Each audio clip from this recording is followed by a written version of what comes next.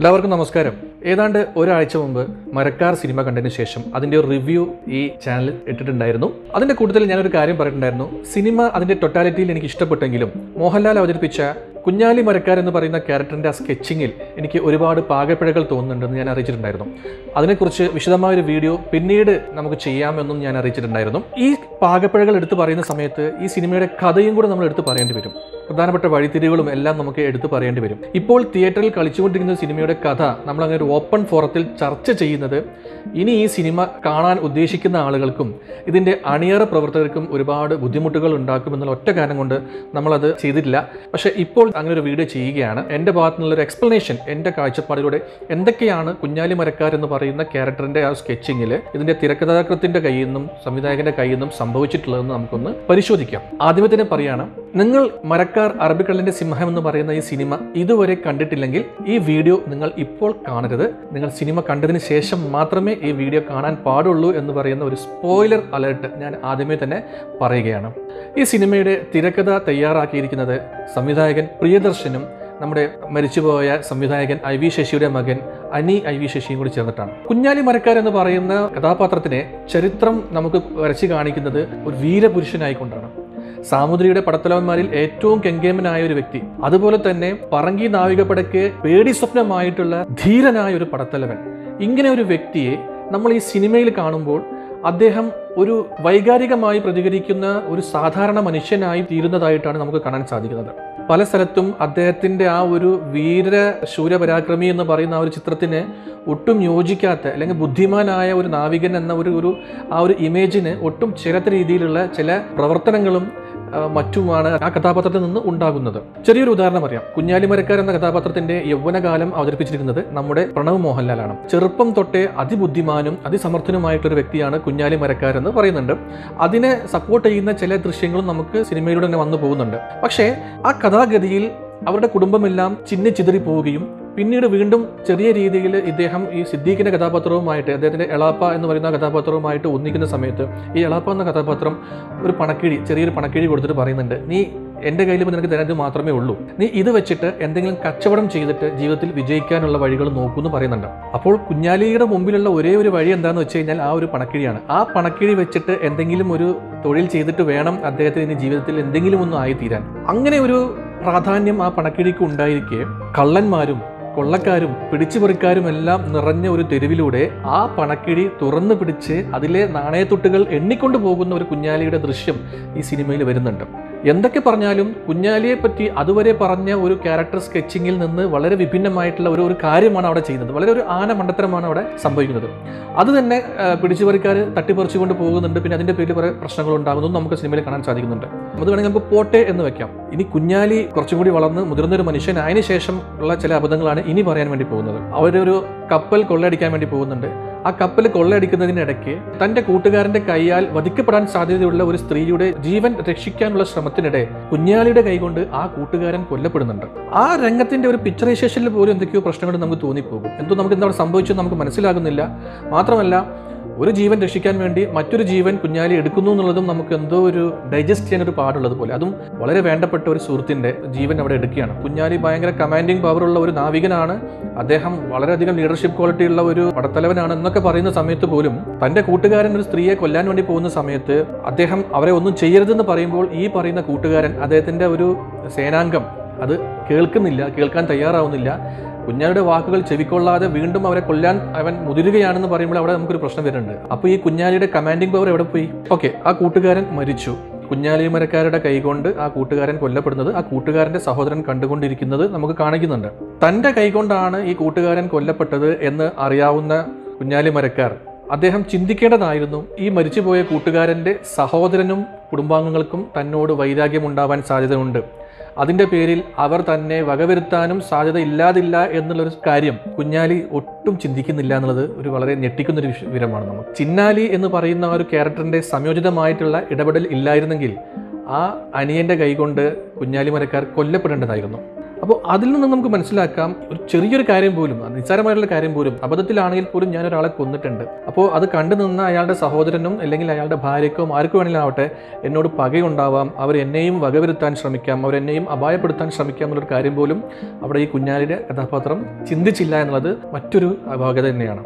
വേറൊരു കാര്യം എന്ന് പറയുന്നത് ഈ പറയുന്ന ചിന്നാലി എന്ന് പറയുന്ന ക്യാരക്ടർ യുദ്ധത്തിൽ തടവുകാരനായിട്ട് പിടിച്ചെടുക്കുന്ന ഒരാളാണ് ചിന്നാലിക്ക് പോലും അയാളുടെ കഴിവുകളെല്ലാം കണ്ടിട്ട് അയാളുള്ള ഒരു സ്നേഹം തോന്നിയിട്ട് ഒരു അനിയനെ പോലെ അയാളെ കൂടെ നിർത്തി തന്റെ ഒരു അംഗരക്ഷകനായി അദ്ദേഹം കൂടെ കൊണ്ടെടുക്കുന്നുണ്ട് കുഞ്ഞാലി. എന്നാൽ തന്റെ അംഗരക്ഷകനായ സന്തത സഹചാരിയായിട്ടുള്ള ഈ ചിന്നാലി കുറേ ദിവസം എവിടേക്കോ പോകുന്നുണ്ട്. പക്ഷെ അയാളെ കുറേ ദിവസങ്ങൾ തുടർച്ചയായിട്ട് കാണാതായിട്ട് പോലും കുഞ്ഞാലിയോ കൂട്ടരോ അയാളെ അത് തിരിച്ചറിയുന്നുമില്ല അത് അയാളെ അന്വേഷിക്കുന്നുമില്ല. അയാളുടെ വേറെ ബോർഡ്സ് എവിടെയാണെന്നുള്ളത് തിരക്കുന്നില്ല.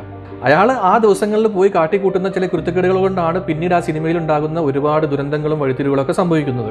അപ്പോൾ തന്റെ കൂടെ നടക്കുന്ന ഒരാൾ പോലും എവിടെയാണ് എന്താണെന്ന് പോലും അറിയാത്ത കുഞ്ഞാലിക്ക് എങ്ങനെയാണ് പറങ്കികളുടെ പടനീക്കങ്ങളെ മുൻകൂട്ടി മണത്തറിയാൻ സാധിക്കുന്നത് എന്നുള്ളത് വലിയൊരു ചോദ്യചിഹ്നം തന്നെയാണ്. ഇനി ഈ സിനിമയിലെ ഏറ്റവും വൈകാരികമായിട്ടുള്ള ഒരു നിമിഷമാണ് ഇതിൽ അർജുൻ അവതരിപ്പിച്ച അനന്തൻ എന്ന കഥാപാത്രത്തിനെ മോഹൻലാൽ അവതരിപ്പിക്കുന്ന ഈ കുഞ്ഞാലി മരക്കാർ എന്ന് പറഞ്ഞ കഥാപാത്രം കൊല്ലുന്നത്.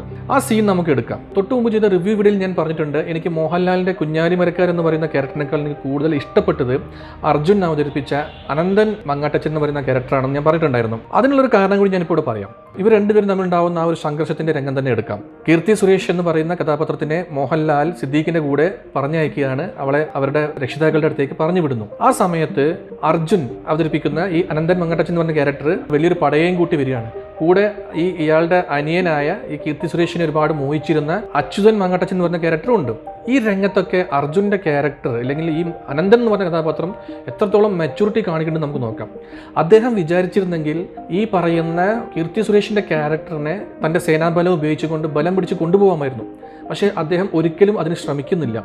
അദ്ദേഹം നല്ല രീതിയിൽ എല്ലാവരെയും കാര്യങ്ങൾ പറഞ്ഞ് മനസ്സിലാക്കാനാണ് ശ്രമിക്കുന്നത്. പക്ഷേ കാര്യങ്ങൾ ഒരു സംഘർഷാവസ്ഥയിലേക്ക് പോകുന്ന സമയത്ത് തന്റെ കൂടെയുള്ള ഭടന്മാർ അദ്ദേഹത്തെ സഹായിക്കാൻ വരുമ്പോൾ പോലും അദ്ദേഹം എന്താണ് പറയുന്നത്? ഇല്ല നിങ്ങൾ ആരും അനങ്ങരുത് ഞാൻ പറയാതെ നിങ്ങൾ ആരും മുമ്പോട്ട് വരരുത് എന്നാണ് അദ്ദേഹം പറയുന്നത്. എന്നിട്ട് അവരെ അവിടെ തന്റെ ചൊൽപ്പടിക്ക് നിർത്തിയിട്ട് ഇദ്ദേഹം വളരെ പക്വമായി വന്നുകൊണ്ടാണ് ആ കാര്യങ്ങൾ സംസാരിച്ച് ക്ലിയർ ആക്കാൻ ശ്രമിക്കുന്നത്. പക്ഷേ ആ സമയത്ത് പോലും ഇദ്ദേഹത്തിന്റെ സഹോദരനായിട്ടുള്ള അച്യുതൻ എന്ന് പറയുന്ന ആ ഒരു ക്യാരക്ടർ ആ ക്യാരക്ടറിന്റെ ഒരു എടുച്ചാട്ടം കൊണ്ട് അവിടെ ഭയങ്കര പ്രശ്നങ്ങളൊക്കെ ഉണ്ടാവുകയാണ്. ആ സമയത്തും ഇദ്ദേഹം എന്താണ് ചെയ്യുന്നത്?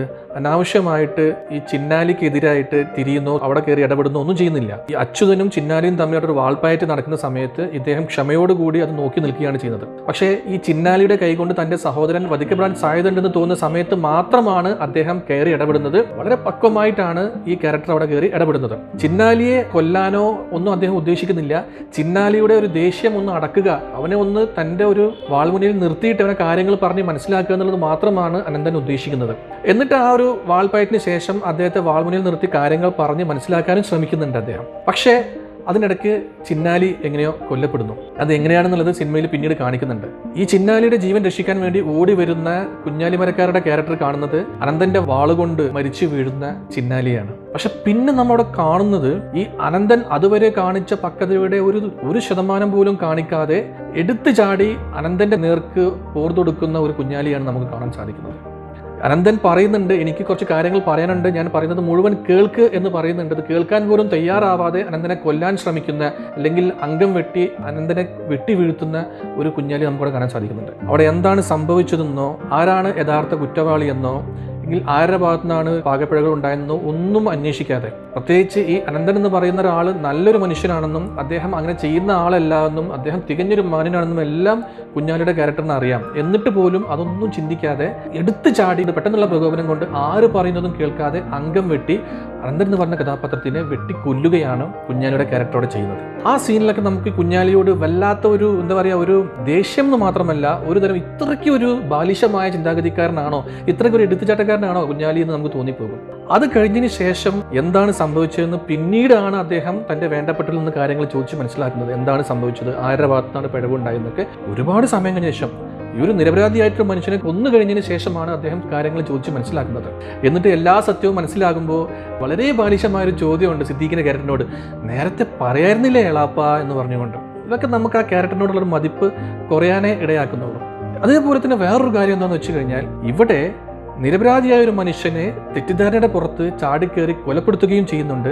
എന്നാൽ എല്ലാ കുഴപ്പങ്ങൾക്കും കാരണക്കാരനാണെന്ന് എല്ലാവർക്കും അറിയാവുന്ന അച്യുതൻ മങ്ങാട്ടച്ചൻ എന്ന് പറഞ്ഞ വ്യക്തിയെ വാൾമുനയിൽ കിട്ടിയിട്ടും അയാളെ കൊല്ലാതെ വിടുന്ന ഒരു കുഞ്ഞാലി മരക്കാരനെ നമുക്ക് കാണാൻ സാധിക്കുന്നുണ്ട്. അപക്വത കൊണ്ട് നല്ലവനായ ഒരു മനുഷ്യനെ കൊന്ന അതേ വ്യക്തി തന്നെ ഏറ്റവും നിഷ്ഠുരനായ വ്യക്തി എന്ന് ഉറപ്പുള്ള ഒരു വ്യക്തിയെ കൊല്ലാനുള്ള ഒരു അവസരം കിട്ടിയിട്ടും അവനെ വെറുതെ വിട്ടാൽ അവനെ കൊണ്ട് ഇനിയും ഒരുപാട് പ്രശ്നങ്ങൾ ഉണ്ടാകുമെന്ന് അറിയാമായിരുന്നിട്ടും അവനെ വെറുതെ വിടുകയാണ് ചെയ്യുന്നത്. അതിന്റെ തിക്തഫലം പിന്നീട് നമുക്ക് ഈ സിനിമയിൽ കാണാനും സാധിക്കുന്നുണ്ട്. ആ വെറുതെ വിടുന്ന അച്യുതൻ ആണ് പിന്നീട് കുഞ്ഞാലിയുടെ പതനത്തിന് വഴിയൊരുക്കുന്നത്. കുഞ്ഞാലി മരക്കാരന്റെ തീരുമാനങ്ങളിൽ അദ്ദേഹത്തിന്റെ ജഡ്ജ്മെന്റുകളിൽ ഒരുപാട് മിസ്മാച്ചുകൾ ഒരു ഇംബാലൻസ് നമുക്ക് പല സ്ഥലത്തും കാണാൻ സാധിക്കും. കൊല്ലേണ്ട ആളെ കൊല്ലുന്നുമില്ല. ഒരിക്കലും കൊല്ലാൻ പാടില്ലാത്ത ഒരാളെ കയറി കൊല്ലുകയും ചെയ്യുന്നുണ്ട്. ഇതിൽ കുഞ്ഞാലി മരക്കാരനെ കൊല്ലാൻ വേണ്ടിയിട്ട് രാത്രി നേരങ്ങളിൽ ഒരു രൂപം ഇങ്ങനെ ഇറങ്ങി നടക്കുന്നുണ്ട്. അത് ആരോ ഒരാൾ അദ്ദേഹത്തെ വകവരുത്താൻ വേണ്ടി നടക്കുന്നതായിട്ട് നമുക്കിങ്ങനെ കാണിച്ചു തരുന്നുണ്ട്. അത് സിനിമ കണ്ടുകൊണ്ടിരിക്കുന്ന നമുക്ക് പോലും അറിയാൻ സാധിക്കുന്നുണ്ട്. അതിന്റെ നിഴൽ വെച്ച് നമുക്ക് മനസ്സിലാക്കാൻ സാധിക്കുന്നുണ്ട്. അതൊരു സ്ത്രീയുടെ നിഴലാണെന്നുള്ളത്. എന്നാൽ ഇത്രയും ബുദ്ധിമാനായ ഇത്രയും വലിയ ഇന്ദ്രജാലങ്ങൾ കാണിക്കുന്ന മാന്ത്രികനായ സമർത്ഥനായ കുഞ്ഞാലി മരക്കാരന് ഒരിക്കലും അത് മനസ്സിലാവുന്നില്ല. ഒരു സ്ത്രീയാണ് തന്നെ കൊല്ലാൻ നടക്കുന്നതെന്ന്. സംഭവിച്ചതൊക്കെ സംഭവിച്ചു. അവസാന രംഗത്ത് അദ്ദേഹം സാമൂതിരിയെ കാണാൻ വേണ്ടിയിട്ട് അവസാനത്തെ ആ മീറ്റിങ്ങിന് വേണ്ടി പോകുന്ന സമയത്ത് അദ്ദേഹത്തിന് മനസ്സിലാകുന്നുണ്ട് ആരാണ് തന്നെ കൊല്ലാൻ ശ്രമിച്ചത്. അത് പ്രത്യേകിച്ച് ക്ലൂ ഒന്നും ഇല്ലാതിരുന്നിട്ട് പോലും പ്രേക്ഷകർക്ക് എപ്പോഴോ പിടികിട്ടിയ ഒരു കാര്യം ആ ഒരു സമയത്താണ് കുഞ്ഞാലിക്ക് മനസ്സിലാകുന്നത് പോലും. താൻ തന്റെ കൈകൊണ്ട് മുമ്പ് മരണപ്പെട്ട കൂട്ടുകാരന്റെ ഭാര്യയാണ് തന്നെ കൊല്ലാൻ നടക്കുന്നത് എന്നുള്ള കാര്യം അപ്പോഴാണ് അയാൾക്ക് അറിയുന്നത്. അതുവരെ കുഞ്ഞാലിക്ക് ഇത് മനസ്സിലാക്കാൻ സാധിക്കുന്നില്ല. എങ്കിൽ പോട്ടെ. തന്നോടുള്ള പകയും വെച്ച് തന്നെ കൊല്ലാൻ നടക്കുന്ന ഈ സ്ത്രീയെയാണ് താൻ അല്പം മുമ്പ് സാമുദ്രികമായിട്ടുള്ള ഒരു മീറ്റിങ്ങിന് ആ ഒരു കൂടിക്കാഴ്ചയ്ക്ക് താൻ ദൂത് അയച്ചത് എന്നുള്ള കാര്യം അയാൾ അപ്പോഴും ചിന്തിക്കുന്നില്ല. ഇവളെയാണല്ലോ താൻ ദൂത് അയച്ചത് അപ്പോൾ സ്വാഭാവികമായിട്ടും തന്റെ മേൽ ദേഷ്യമുള്ള ഇവൾ തന്നെ ഒറ്റിയിരിക്കാൻ സാധ്യതയുണ്ട് എന്നുള്ള ഒരു പോസിബിലിറ്റി പോലും കുഞ്ഞാലി ഇവിടെ കാണുന്നില്ല. അദ്ദേഹം അത് ഒട്ടും ചിന്തിക്കാതെ ആ അവൾ നിശ്ചയിച്ച ഉറപ്പിച്ച ആ ഒരു കൂടിക്കാഴ്ചയ്ക്ക് വേണ്ടിയിട്ട് പുറപ്പെടുകയാണ്. എന്തെങ്കിലും ഒരു പ്രിക്കോഷൻ അദ്ദേഹം അവിടെ എടുത്തിരുന്നെങ്കിൽ അദ്ദേഹം പറങ്കികളുടെ പിടിയിലാവുകയോ ഈ സിനിമയുടെ ക്ലൈമാക്സിൽ സംഭവിക്കുന്ന ആ ഒരു ഒരു എൻഡിങ് ഒരിക്കലും ഉണ്ടാവുകയോ ചെയ്യുമായിരുന്നില്ല. ഇങ്ങനെ പല കാര്യങ്ങളിലും അദ്ദേഹം ഒരു വളരെ ഒരു വൈകാരികമായി പ്രതികരിക്കുന്ന എടുത്തുചാട്ടക്കാരനായിട്ടുള്ള ഒരു ഇമ്പൾസിന്റെ പുറത്ത് എല്ലാ കാര്യങ്ങളും കയറി കാട്ടിക്കൂട്ടുന്ന ഒരു അപക്വമതിയായിട്ടുള്ള ഒരു വ്യക്തിയായിട്ടാണ് പ്രിയദർശൻ കുഞ്ഞാലി മരക്കാർ എന്ന് പറയുന്ന ഒരു കഥാപാത്രത്തെ സൃഷ്ടിച്ചിട്ടുള്ളത് അത് ഒരു പക്ഷേ ഒരു സിനിമയ്ക്ക് വേണ്ടിയോ എന്തോ ആവാം. പക്ഷേ അതുവരെ നമ്മൾ കേട്ട കുഞ്ഞാലി മരക്കാർ എന്ന് പറയുന്ന ആ ഒരു കഥാപാത്രത്തിന്റെ ഒരു ഇമേജിന് ഒട്ടും നിരക്കാത്ത രീതിയിലുള്ള ഒരു ക്യാരക്ടർ പോർട്രേയിങ് ആയിട്ടാണ് എനിക്കിതിൽ ഫീൽ ചെയ്തിട്ടുള്ളത്. ഇതിൽ സംവിധായകൻ ആദ്യമേ തന്നെ പറഞ്ഞിട്ടുണ്ട് സിനിമയുടെ തുടങ്ങിയ സമയത്തെ സംവിധായകൻ പല പല ഇന്റർവ്യൂകളിൽ പറഞ്ഞിട്ടുണ്ട് ഇതിൽ മുപ്പത് ശതമാനം മാത്രമേ ചരിത്രവും യാഥാർത്ഥ്യവും ഉള്ളൂ ബാക്കി എഴുപത് ശതമാനവും എന്റെ ഭാവനയാണെന്ന് അദ്ദേഹം പറയുന്നുണ്ട്. പക്ഷേ ഇത് ഭാവനയാണെങ്കിൽ പോലും ഒരു കഥാപാത്ര നിർമ്മിതിയിൽ ഒരു സംവിധായകനും തിരക്കഥാകൃത്തും ഒരുപാട് കാര്യങ്ങൾ ശ്രദ്ധിക്കേണ്ടതുണ്ട്. പരമാവധി പാകപ്പിഴകൾ ഒതുക്കി നമ്മൾ ലോജിക് എന്നൊക്കെ നമ്മൾ പറയുമ്പോൾ സിനിമ കാണാൻ പോകുമ്പോൾ നമ്മൾ ലോജിക്കൊക്കെ മാറ്റി വെക്കണം എന്നൊക്കെ പറയുന്നുണ്ടെങ്കിൽ പോലും സാമാന്യ ബുദ്ധിക്ക് നിരക്കുന്ന ചില കാര്യങ്ങളെങ്കിലും ആ കഥാപാത്രത്തിന്റെ നിർമ്മിതിയിൽ ഉണ്ടായി കഴിഞ്ഞാലാണ് ആ സിനിമ കൂടുതൽ ആസ്വാദികരമാവുകയുള്ളൂ കൂടുതൽ വിശ്വസനീയമാവുകയുള്ളൂ. പ്രത്യേകിച്ച് നമ്മുടെ മലയാള സിനിമയിലൊക്കെ ഇതുപോലുള്ള നല്ല ചരിത്ര സിനിമകളൊക്കെ എടുക്കുമ്പോൾ അത് ഒരു റെഫറൻസിന് വേണ്ടി പോലും പിൽക്കാലത്ത് ഉപയോഗപ്പെടുത്താൻ സാധ്യതയുള്ള സിനിമകളാകുമ്പോൾ ഇത്തരം കാര്യങ്ങൾ നമ്മൾ ഒരുപാട് ശ്രദ്ധിക്കേണ്ടതുണ്ട്. എന്തായാലും ഇനി ഒരുപാട് നല്ല ചരിത്ര സിനിമകളും നല്ല പീരിയഡ് സിനിമകളൊക്കെ എടുക്കാനും പ്രിയദർശനും അദ്ദേഹത്തിന്റെ ടീമിനും കഴിയട്ടെ.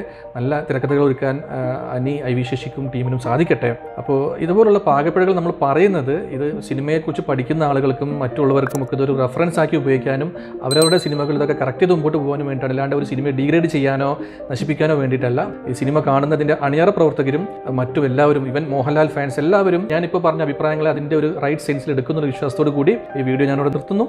നിങ്ങൾക്ക് ഈ വീഡിയോ ഇഷ്ടപ്പെട്ടാൽ നിങ്ങളിത് ലൈക്ക് ചെയ്യുക ഷെയർ ചെയ്യുക കൂടുതൽ ആളുകളിൽ എത്തിക്കുക. ഈ ചാനൽ സബ്സ്ക്രൈബ് ചെയ്യുക ഈ ഉദ്യമത്തെ വിജയിപ്പിക്കുക. എല്ലാവർക്കും നന്ദി നമസ്കാരം.